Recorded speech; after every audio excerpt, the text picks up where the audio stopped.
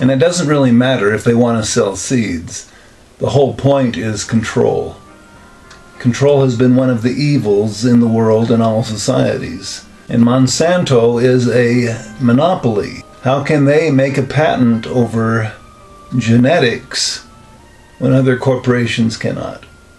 If pollen is driven into the air to a virgin field and contaminated by Monsanto's GMO seeds or GMO pollen, who is responsible? I would say Monsanto is, not the farmer who is the recipient of the poisoned seeds.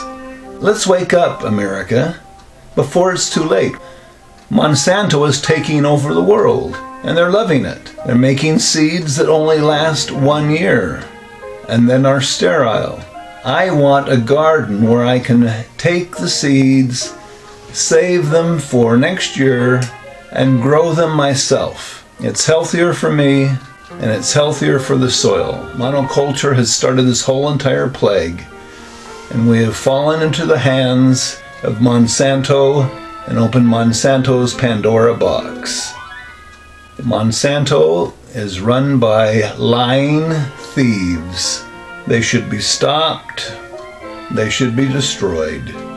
In their publications, in their publicity, they lie, lie, lie. They grind the faces of the poor into the dust. They are immoral. They are not ethical.